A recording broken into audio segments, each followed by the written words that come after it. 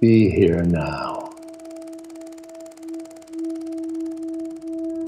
Just be here now.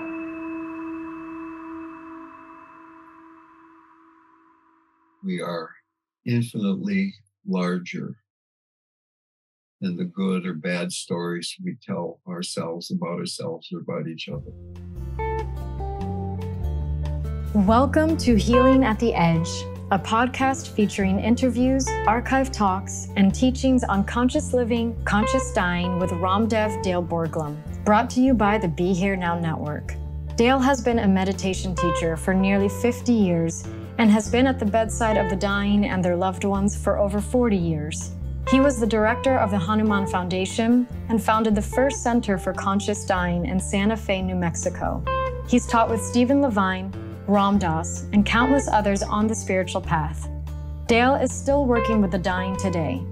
For more information, please visit livingdying.org. Welcome, everybody. You may remember the last time we met three weeks ago, I was talking about death as a mirror, and I talked about two clients that I had worked with who have died, one of whom hadn't practiced much at all, and the other one who had practiced really a lot, both in terms of meditation and devotion. And how both of them, though, had come to the place where they felt that their practice had been a failure. And that here, as they were approaching death, they didn't have any sense of support. And I really thought a lot about that. I did read, as one of the main things we talked about that week, this quote from Rumi. There is a poem in which uh, somebody in the poem said his prayers had never been answered. He never heard anything back from God. Then the protagonist in the poem said, The longing you express is the return message.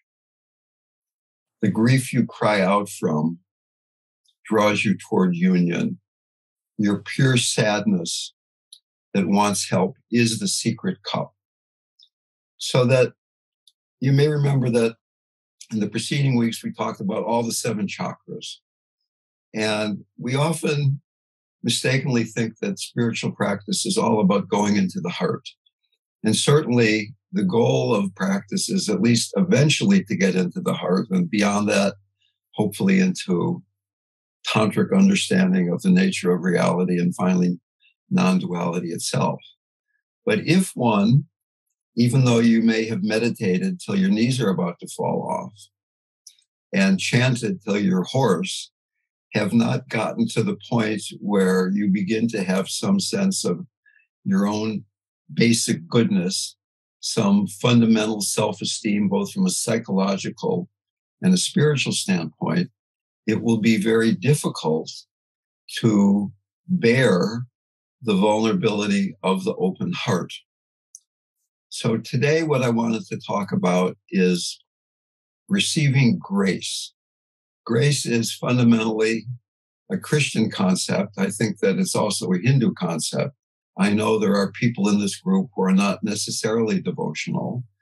And a little bit later on into the talk, I'll begin to expand the notion of grace to include the acceptance of the empty nature of reality. So that even though we're talking about grace in a, in a theistic or a devotional standpoint, one can be a, a hardcore Buddhist, not have a devotional bone in your body, so to speak. And still, there is this fundamental and extremely important stage of practice where we get to the point where we understand that it's not about working harder, trying harder to achieve something, but to receive the blessing that is always here. When we were in India, Ram Dass came up with this saying, kind of summarizing Maharaj's teachings purify and wait for grace. So that grace is available at each moment. And yet, when our heart isn't pure, when our mind is too conflicted with psychological conditioning, it is very difficult to understand that this too is grace. I'd like to read a very wonderful poem called What is Grace by St. John of the Cross. What is grace? I asked God. And he or she said, All that happens. And then he added, when I looked perplexed, could not lovers say that every moment in their beloved's arms was grace? Existence is my arms. Though I well understand how one can turn away from me until the heart has wisdom. Existence is the arms of the beloved. So, what God is saying here through the voice of St. John of the Cross is that every moment, whether it's a cancer diagnosis or a difficult day emotionally or physically, or a wonderful day at the beach with someone you love, or a perfect meal or a lousy meal, that it's all grace. And it's, it's, it's difficult. It's so difficult to appreciate that when we look at what's going on in the Ukraine, what we look at what's happening to the planet, that all of this is grace.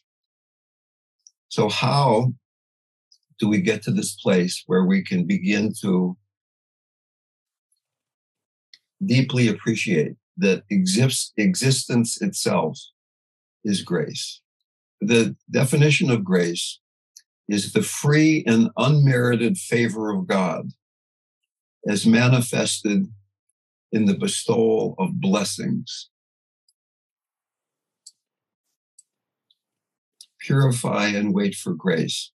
So that whether one is a, a Buddhist or an atheist or a Buddhist atheist or a devotional person, we all feel this longing. There, there, there doesn't really need to be a dichotomy between somebody who believes in God and God is raining down grace and somebody who doesn't believe in God, but is through practice beginning to get that grace is not dependent on whether the moment is pleasant or unpleasant, happy or sad, wellness or illness, even whether it's life or death.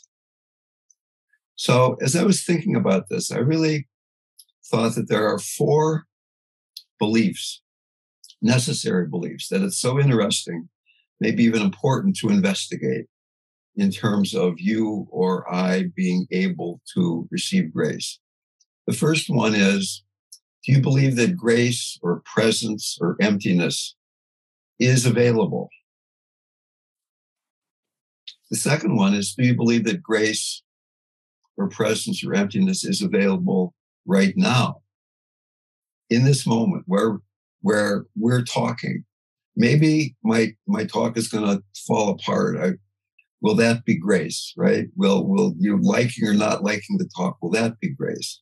We're not talking about something that's happening after the talk is over and you're meditating, but right now. Is grace available now? And then an interesting question Am I worthy of receiving this grace?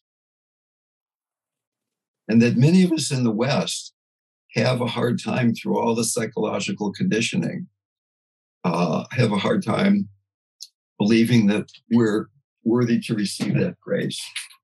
The Dalai Lama, on his third visit to America, said, Now I'm beginning to understand, and it makes me very sad you Americans don't like yourselves.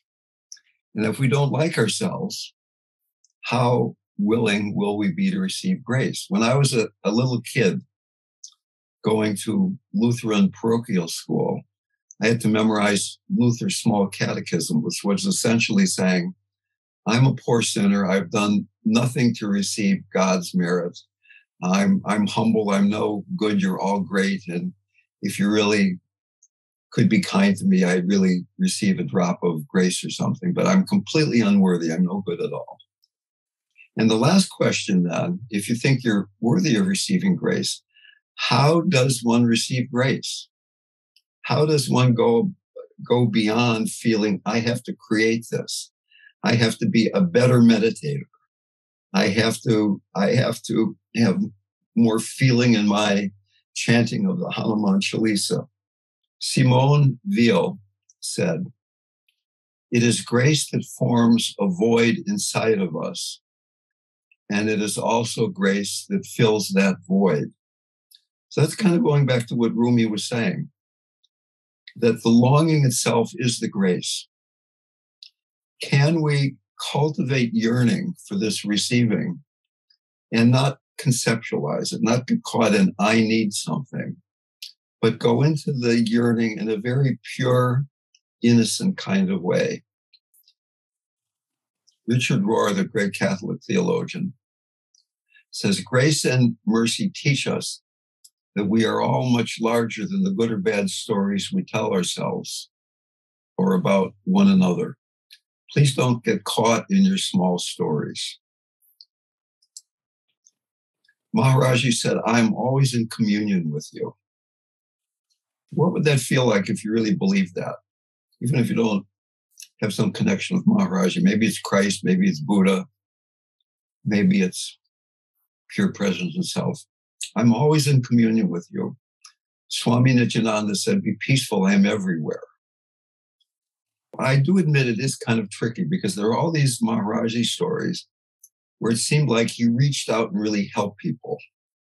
That there was this guy who was the agent of grace, that his devotee was dying and he gave him a magic banana or something like that. The guy ate the banana and then he didn't die after all, or he raised people from the dead or things like that. But my sense of it, if I looked at this from a wide enough lens, is that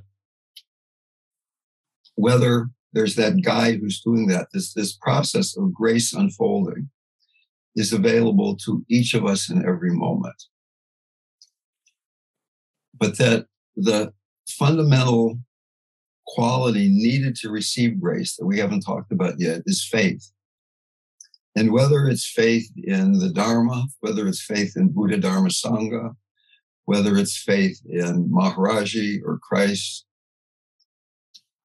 that as long as you think, as long as I think, I have to try harder, I have to do this, then I think grace is a little bit out of reach.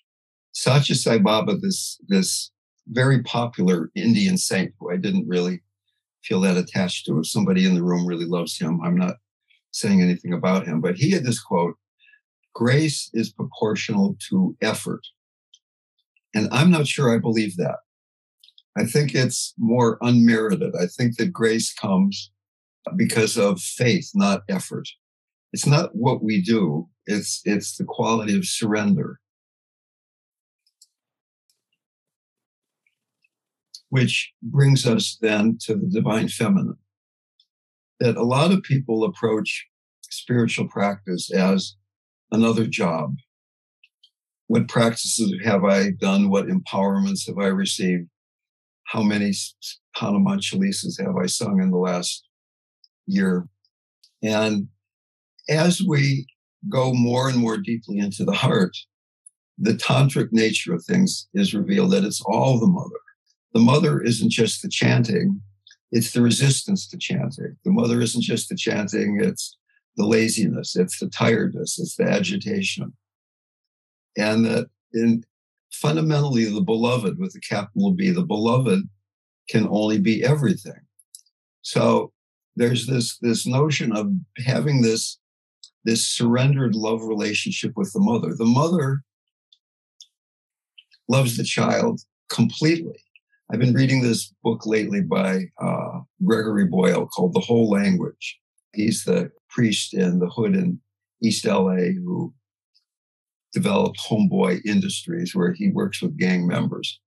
And he, he keeps making this point, particularly to these kids who have been gang members and ex convicts that he's working with, that God is always love, that you don't have to be a certain way for God to keep pouring love. When, when into each of us, when somebody says that we need to be a certain way to receive God's love, that that's he called it uh, theological malfeasance. So that this grace or this, this love is always pouring down upon us. And yet we live in this culture that rewards accomplishment, trying harder to. I mean, my son just got into UC Berkeley yesterday. He was so excited.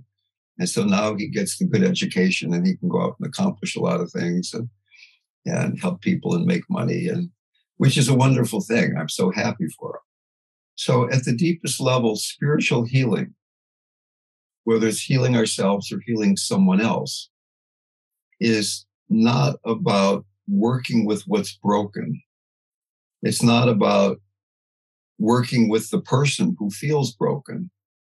It's working with the belief in brokenness. Suppose you have a friend who's suffering. Maybe she's or he has a, a really difficult prognosis. Maybe he or she is having problems in the family. And instead of praying for the difficulty to pass, the deeper practice is to merge your mind with the one mind. Maybe easier said than done, but we've all done that at times. And then merge your mind with the mind of your friend. So instead of saying, I'm here to fix the problem, making the problem real, realize that even what we see as the problem is grace. And that by being in the oneness that manifests and includes the grace, then we go beyond the problematic nature of the immediate situation. I've been around so many people who have been dying, and it is difficult and at times sad to be with somebody who's dying who feels inadequate, who feels unworthy, who feels like if they could only go back in their life, their life and love their child more, or not work quite so hard and love their spouse more. And to be with somebody who's dying, who is ready to surrender, not only surrender to God, but surrender their body and their mind and all their stuff, is such a blessing. So we're talking about going from conditioning, being lost in the conditioned mind, to yearning for love, but finally to admitting that we're love itself, that love or grace or presence is always there.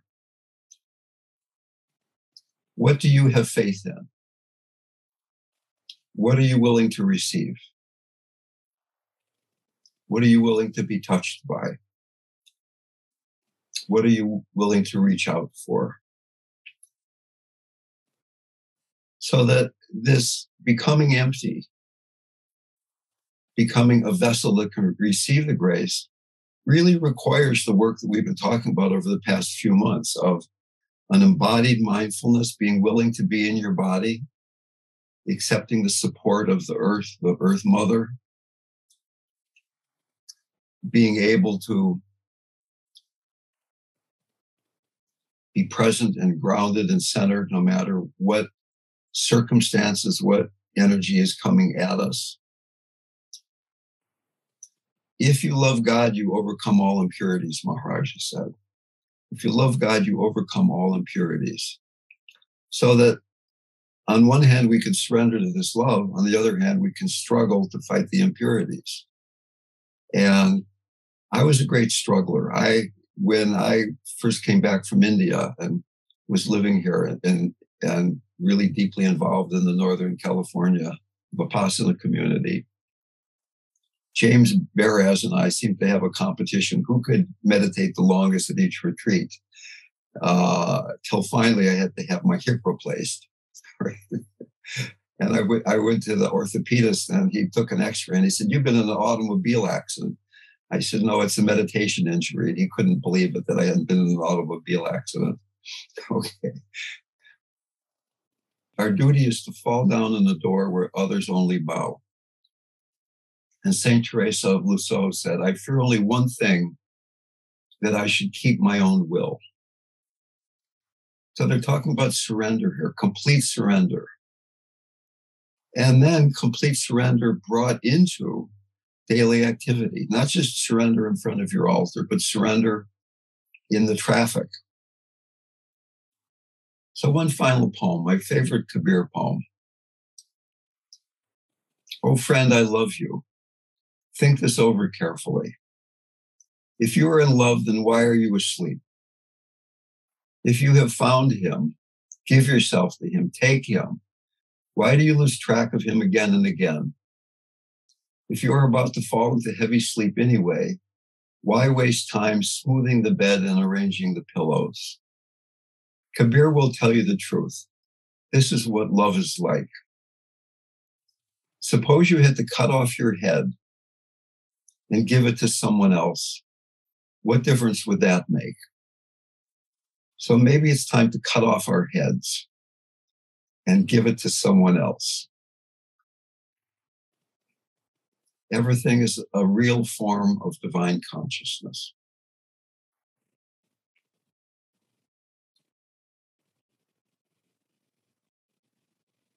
Please begin by letting your attention come into your body.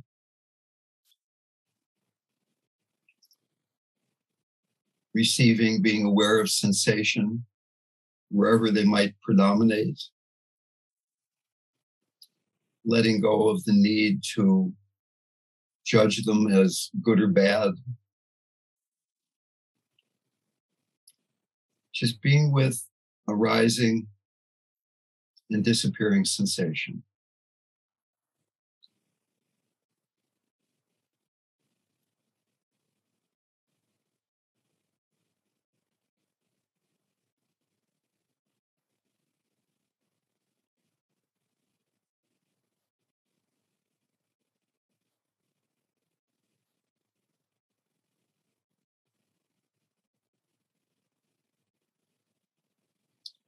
Letting the body, letting the mind open, trust.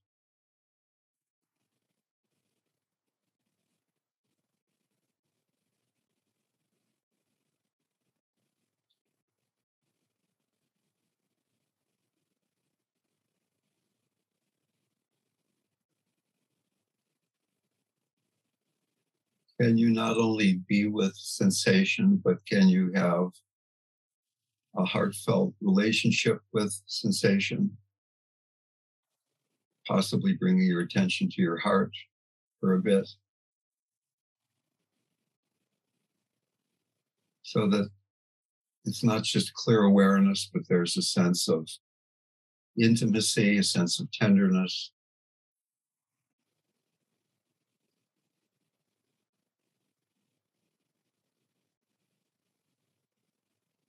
sense of compassion when you pull back, when you get lost.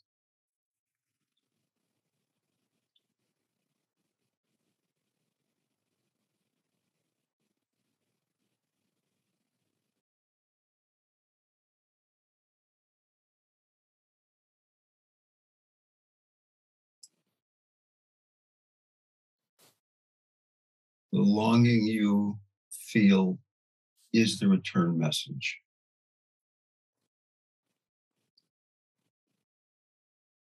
Let, letting the calmness coming from being with sensation reveal the deepest longing.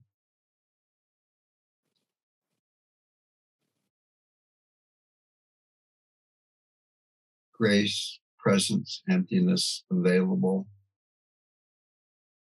in this moment. Each of us completely worthy to receive Nothing special needed to do to receive this grace other than willingness, yearning.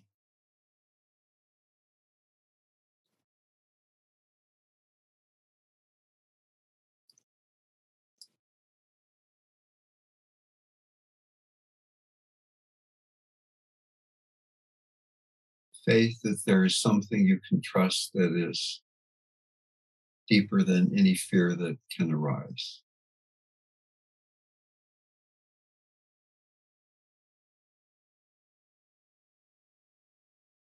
Faith that you are exactly where you need to be right now.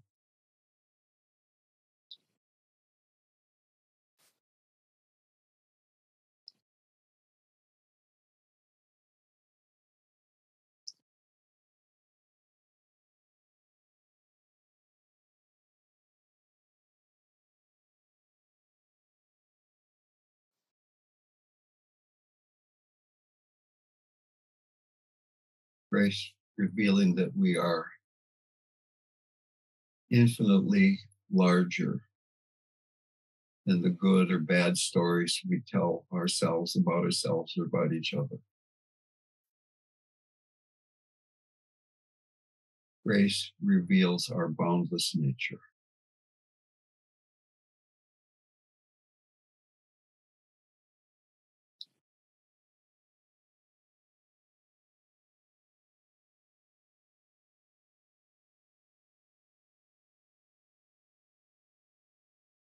Grace revealing that we are loving awareness.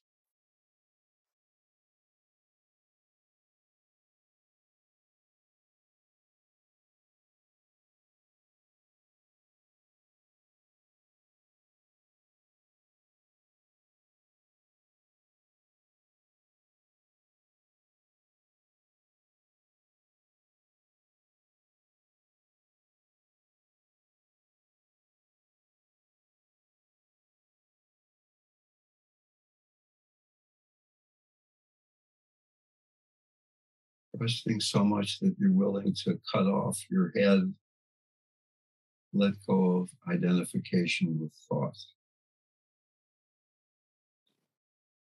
Even the thought, just an expression of grace. All presence.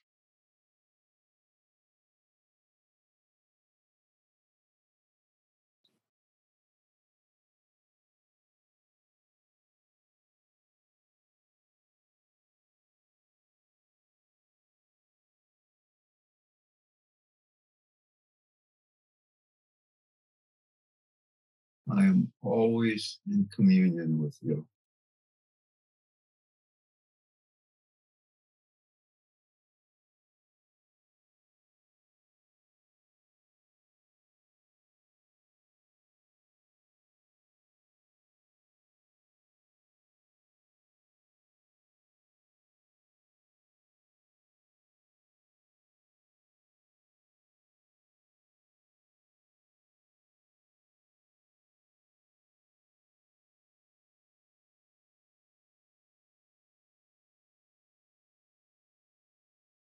Watering the seeds of inherent basic goodness.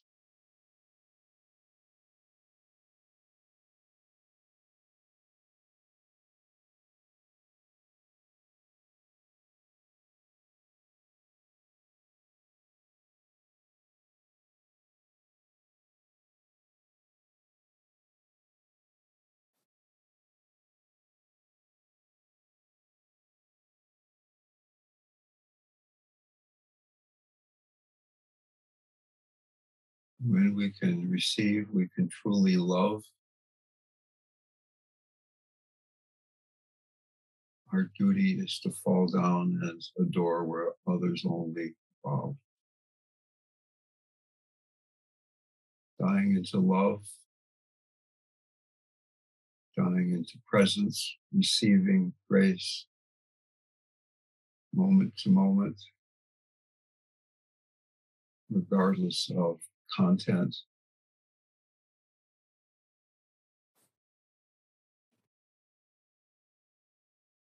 Focusing on this underlying presence rather than being lost in that which changes.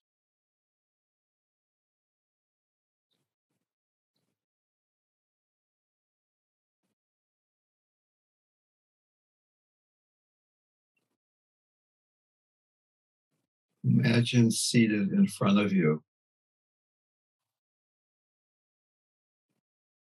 the manifestation of grace, the beloved Christ, Maharaji, your own true nature, Buddha, the mother,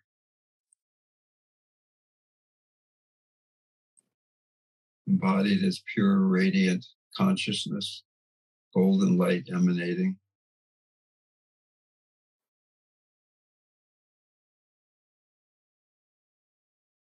Not just a pretty picture in your mind, but feeling the sense of grace that comes from being in the presence of pure love, pure consciousness.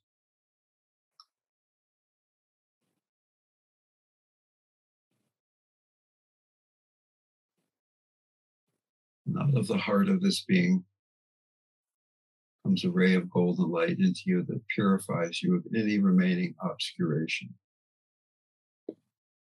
Your body slowly transforming into a body also made out of this pure golden radiant consciousness, each molecule filled with pure consciousness, pure love. You made out of exactly the same substance as the beloved.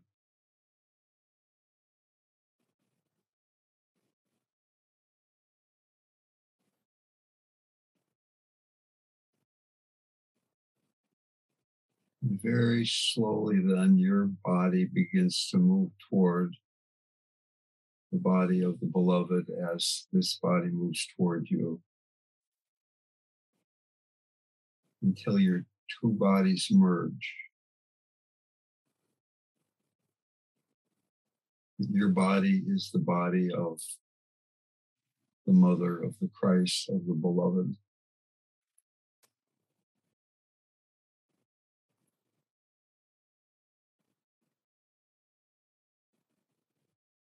And gradually, this body then dissolves into infinite spaciousness.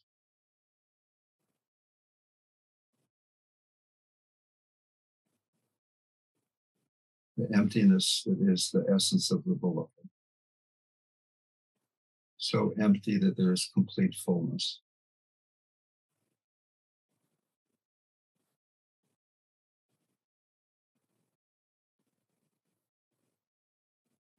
in this emptiness arises profound compassion for all beings.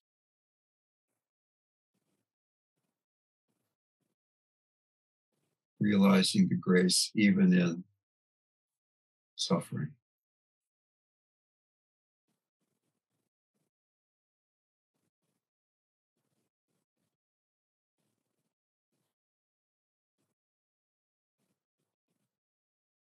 Suffering is grace. When our heart is truly open.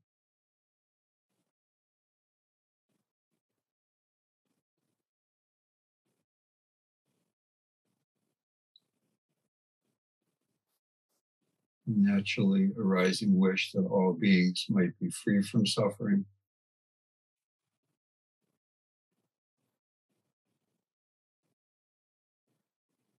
and from the causes of suffering.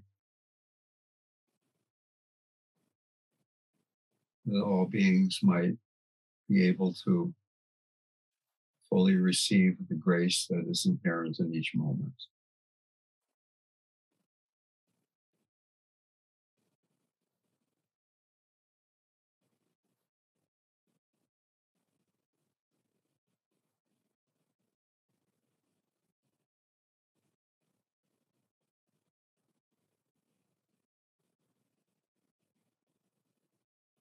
Again, experiencing the sensations in your body is pure manifestation of presence.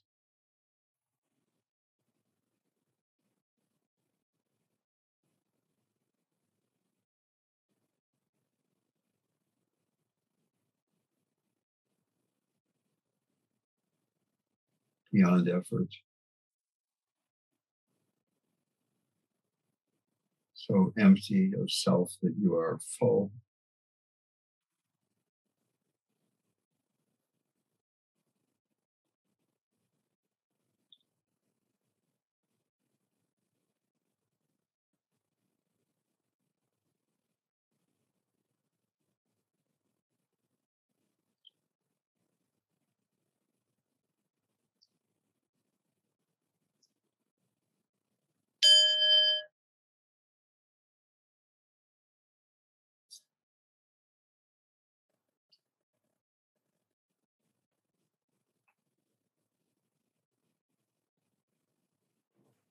Uh, there is a question.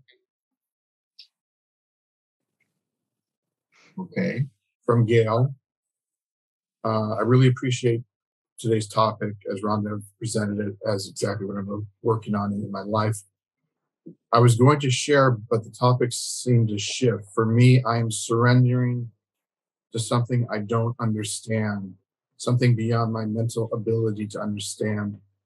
The Guru or God. I never met the Guru, Maharaji, yet I am practicing surrendering my life to the Guru.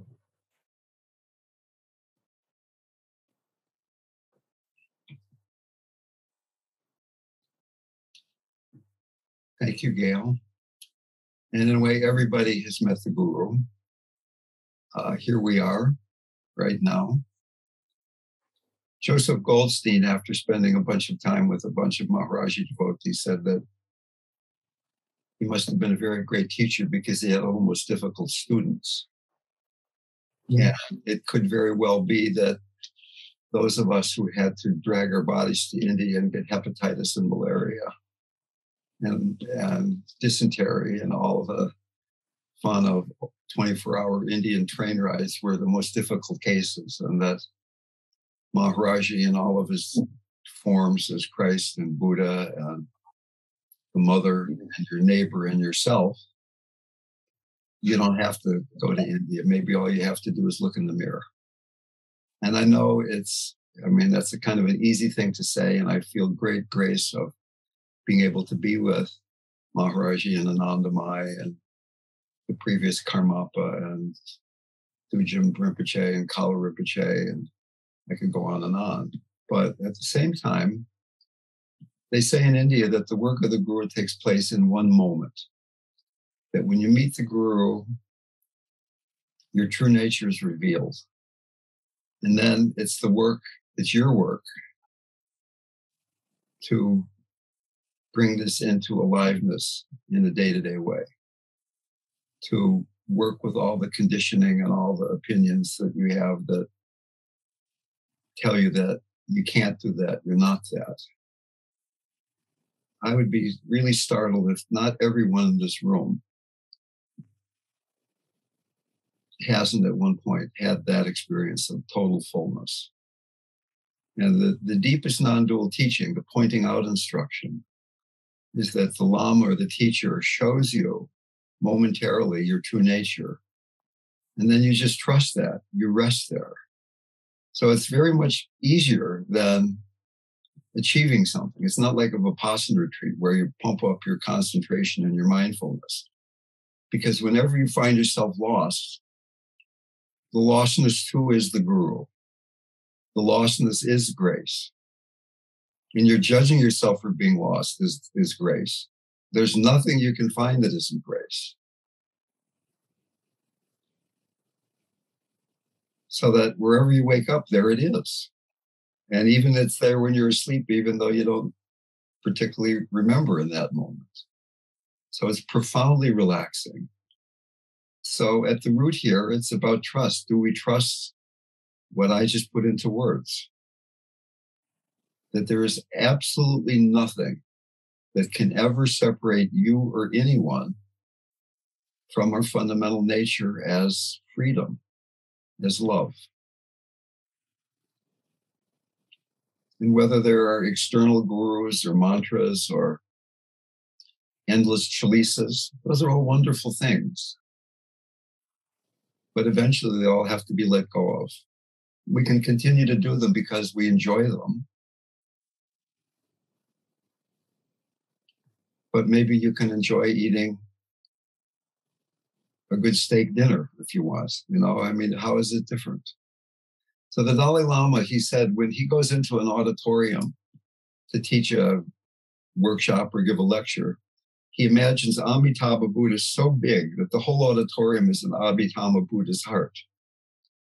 And then he goes into the auditorium, and what could go wrong because he's inside Amitabha Buddha's heart. So that right now, whether you've been with Maharaji or not, is this all happening inside Maharaji's heart? I mean, I kind of set that up before we got here. That's the way it is for me.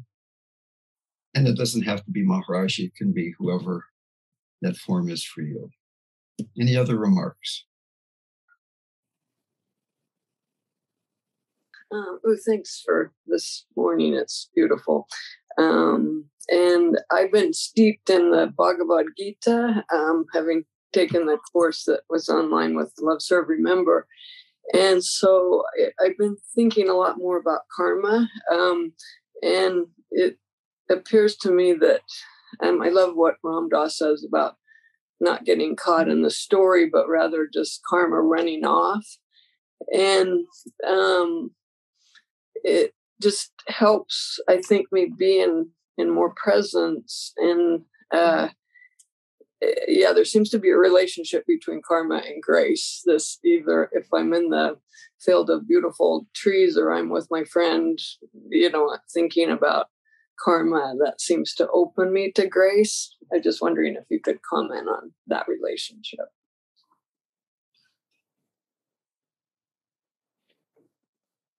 Karma is a very sticky subject that I don't begin to understand. I mean, in one way, it seems very simplistic. You do good stuff and good happens. But at the same time, there's babies being blown to bits or starving to death all over the world as we speak, and horrible people amassing great wealth and comfort. The only way that makes sense to me is that we all have to go through everything eventually anyway. That I'm the raper and the rape uh, uh, uh, rapee. I'm the I'm the the uh, perpetrator and the victim. I'm the the good guy and the bad guy eventually until all of it is just God unfolding, and that it's all perceived as grace. I think we all probably have identities that we get lost in. They seem real. We're inadequate, or we're good, or we're rich or we're dying or we're a cancer patient or we're an expert. And when we get lost in those identities, we get detached from realizing that grace is is is present. So, but the the is available, and the karma then is working through that stuff. And you know, there's so many stories about saints, Maharaji stories about him guiding people to let go of these identities to realizing that you could be rich or poor, and at, in some way, grace was still available.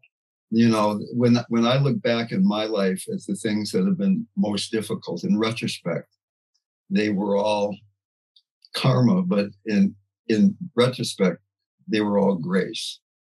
That when Madoff took all my money, when I got cancer, when I hurt my neck, when all these different things happened, they f- forced me closer to God. I remember I live in the same town as Jai Uttal, and after I lost a very large sum of money with this Madoff scandal, I was in the post office with these very beads. I was saying my mantra, waiting in the line at the post office, and Jai came in, and he knew what had happened to me, and he said, we sure get closer to God when we're suffering, don't we? he kind of chuckled at me, right? Some of us are stubborn enough that we need repeated lessons of karma unfolding. To the extent we can receive it, it just passes through. One of the secrets or one of the tricks to the spiritual life is how quickly we dust ourselves off and get back on the path after God knocks us over into the mud puddle on the side of the path. My question is about opening the heart and how how you do that, what that actually means. If if you could say more around that, because I'm thinking it's um, dropping resistance.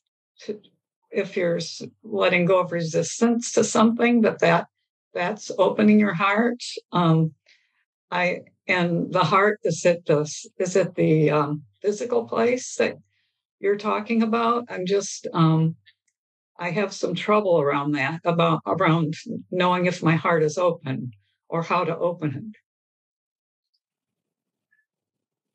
it. Such a multi-level question. We could spend uh, a week week-long workshop talking about that. Of course, singing and chanting and doing all kinds of things. I mean, in one way, the heart is the depth of the mind, and the mind is the surface of the heart. so that when the mind relaxes enough, when there's no resistance, when there's equanimity and stability, the heart becomes revealed, the heart that accepts, that is connected, that is spacious. In Buddhism, they say this thing that is a bit mysterious that the essence of the heart is emptiness. And what that means is empty of concept, particularly the concept of self.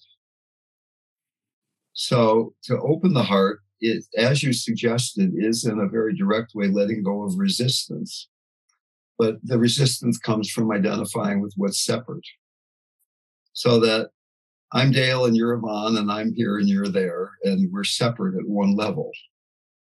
But that's contextualized in this more fundamental level that we're one consciousness, that we're one in God, we're one in grace.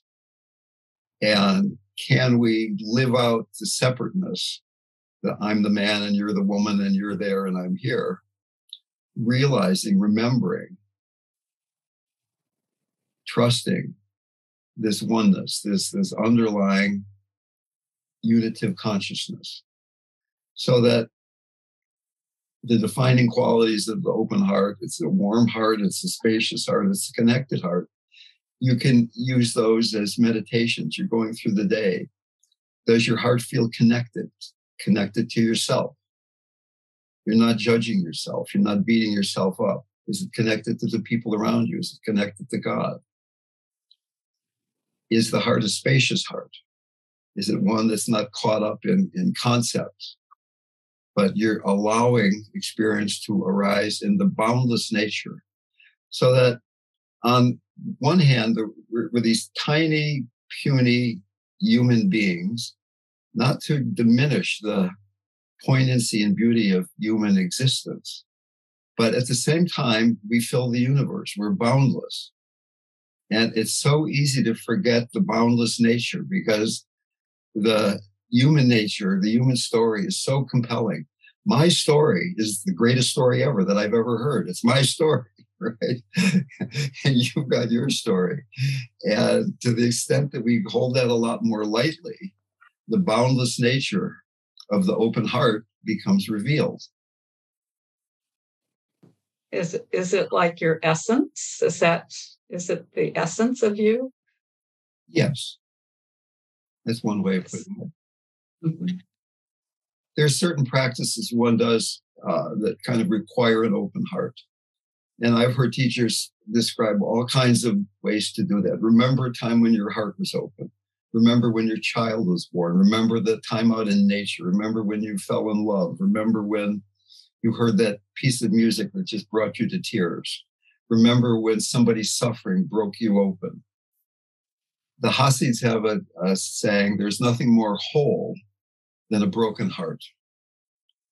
So it's it's finding the courage and the root word of courage, core, the French word comes from heart. Courage is not an act of will, it's an act of heart. Finding the courage to let the heart keep breaking open. When we see suffering, when we see beauty. And that every time we have an experience of that boundlessness, it gives us deeper faith. It's a little easier next time. It's been really lovely being with you all. I uh, really appreciate the opportunity to be with you and to be doing this. It feeds me. Thank you all for being here.